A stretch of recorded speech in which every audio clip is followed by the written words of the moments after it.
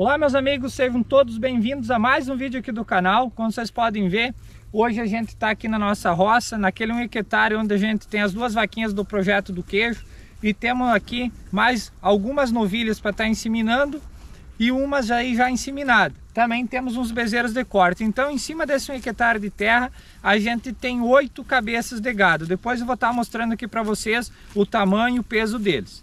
Mas hoje o nosso vídeo é para estar tá auxiliando, ajudando um inscrito nosso que nos acompanha lá na rede vizinha, lá no Instagram. E ele vem nos perguntando muito que ele tem interesse de estar tá comprando uma chácara, uma chácara pequena, e ele quer desenvolver um projeto lá nessa chácara em um hectare de terra.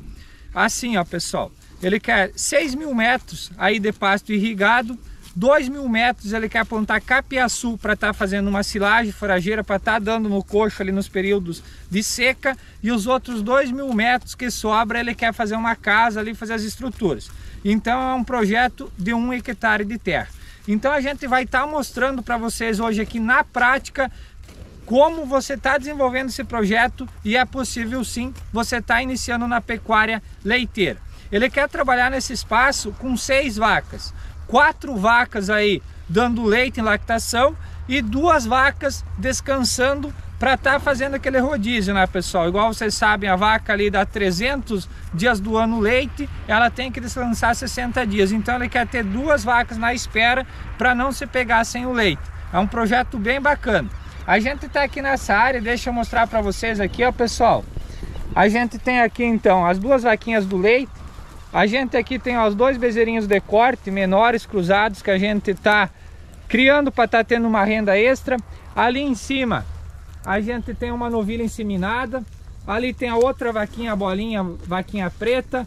Esse daqui, ó, pessoal, é um bezerro de corte, um rare forte. Então nosso amigo lá, a ideia dele como é tá fazendo. Ele não vai querer, ele não quer no caso tá fazendo recria. Ele vai só inseminar as vaquinhas dele com bezerro de corte igual esse daqui e quando nascer ele vai estar tá vendendo. E aqui na nossa região tem uma boa saída. No caso a gente insemina aqui de Hereford, Braford e Inra. E a gente tem uma boa saída e Angus também. No caso para estar tá também ali, né pessoal, falando para você que vai iniciar na pecuária leiteira, procura a partir da segunda cria, você tá inseminando essas vacas aí, uh, no caso com bezerro de corte, como ele dá um bezerro maior Vacas pequenas igual Jersey, Gersolando ali, eu aconselho vocês a partir da segunda estar tá inseminando. Mas não tem problema nenhum de você estar tá inseminando para depois aí na hora do parto você vai ter um ótimo resultado, vai conseguir estar tá vendendo seus bezerros.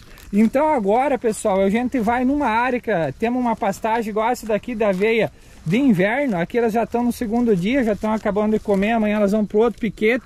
E eu vou estar mostrando para vocês lá na prática qual é a metragem dos 6 mil metros ali que ele vai estar tá desenvolvendo essas atividades. Então quero mostrar para vocês ali na prática como que eu faço os piquetes. Olha só, Matheus, agora a gente está aqui no local onde a gente tem 8 mil metros quadrados bem certinho. Junto com aquele pedaço que eu mostrei onde as nossas vacas e os bezerros estão hoje dá um hectare. É onde a gente desenvolve aquele projeto das vacas de leite que a gente faz o queijo com as duas vaquinhas e também a gente tem nossos bezerros de corte. Aqui nesse espaço aqui, pro lado de cima, como você está vendo aqui, tem em torno de 2 mil metros. A gente aproveita aqui esse espaço também para estar tá plantando e ali a gente tem umas árvores ali, umas nós pecan. Mas em torno de 2 mil metros seria isso daqui, aonde você estaria plantando o teu capiaçu. É um espaço bom, bem amplo, que com certeza no período de seca você vai ter aí para estar tá dando a forageira no coxo. Aqui a gente cercou todos esses 8 mil metros, Matheus, ali com ah, os palanquinhos em concreto, lá na parte de cima começa a ser, como tu pode ver, e aí fio liso. Então, quando que a gente sai de casa, a gente tem uma segurança para estar tá deixando as nossas vacas aqui. Deixa eu te mostrar aqui onde está os 6 mil metros. Por isso que eu digo, se você se planejar bem, você consegue ter essas seis vacas aí bem tranquilo. Ainda mais você vai ter uma vantagem que você vai estar tá irrigando. Nessa questão aqui do pasto, a gente largou nossas vacas já comendo essa área, tá demorando a voltar, ó. A gente tá ah, passando por uns dias de seca, então se a gente tivesse essa área irrigada, com certeza já estava bom da gente estar tá largando novamente. Então uma vantagem muito grande que você vai ter aí nesse 1 hectare, no caso 8 mil metros que você vai desenvolver a atividade leiteira, é se você está irrigando, você não vai se pegar sem pasto, vai ter pasto o ano inteiro. Então lá no coxo, essas vacas você vai precisar dar menos comida e vai ter uma vantagem que vai ser um leite mais, vamos dizer assim, limpo. Você vai ter um lucro maior do que você está comprando ração, silagem de milho, bastante comida para fornecer no coxo. Aqui a gente dividiu assim, ó, quatro piquetes nesses 6 mil metros. Então, aqui quando cresce o pasto, tava a primeira vez que a gente largou, agora está no começo de formação, a gente está largando em torno de dois dias cada piquete. É uns piquete bem amplo, fica bom se você fazer assim. E tem uma diferença também. Aqui a gente tem aveia agora de inverno, ela cresce, no caso, até ali uns 30 centímetros para a gente estar tá largando. Mas quando que a gente tem nessa mesma área no verão o sorgo, as vacas às vezes chegam a ficar quatro dias num piquete desses, as mesmas vacas. Então isso também vai influenciar muito você que vai iniciar na pecuária leiteira. Se você plantar uma capineira, uma mombaça, de repente uma Tifton, ah, uma grama boa que é mais resistente, ali uma braquiária renovada, com certeza na mesma área como ela dá maior, dá ali 80 centímetros até um metro para tu largar as vacas, no mesmo piquete que essas vacas nossas aqui estão ficando dois dias, elas vão ficar quatro, cinco dias. Então você vai ter aí uma folga maior na questão de não se pegar sem pasto para suas vacas de leite. Outra questão que você me falou, que você quer fazer as estruturas. Deixa eu te mostrar aqui para você ver aonde está o nosso curral. A gente tem a pastagem aqui, ó. As vacas estão lá em cima, logo acima do curral lá. Ali é o nosso curral, aquele branquinho ali. Então, tá junto ali onde que você vai plantar o teu capiaçu, você já pode fazer a estruturinha, fica tudo perto. As vacas ficam aqui no piquete, de noite você ou de manhã você vai ordenhar, você tira elas, você vai tocar ali no curral, ó, pertinho. Então você vai ter uma comodidade muito boa e com certeza você vai ter um lucro. Eu penso que agora você vai estar iniciando nesse um hectare, você vai estar formando a pastagem com seis vacas está de bom tamanho. Mas com o passar do tempo, nessa mesma área você vai estar tá conseguindo ter mais vacas. Na questão que você me perguntou também se ali você uh, vai estar tá tratando no coxo, vacas aí de 15 a 20 litros por dia, vacas vamos dizer de média genética, você consegue dando um capiaçu no coxo e complementando com fubá você consegue manter uma média boa se você tem a pastagem aí na roça.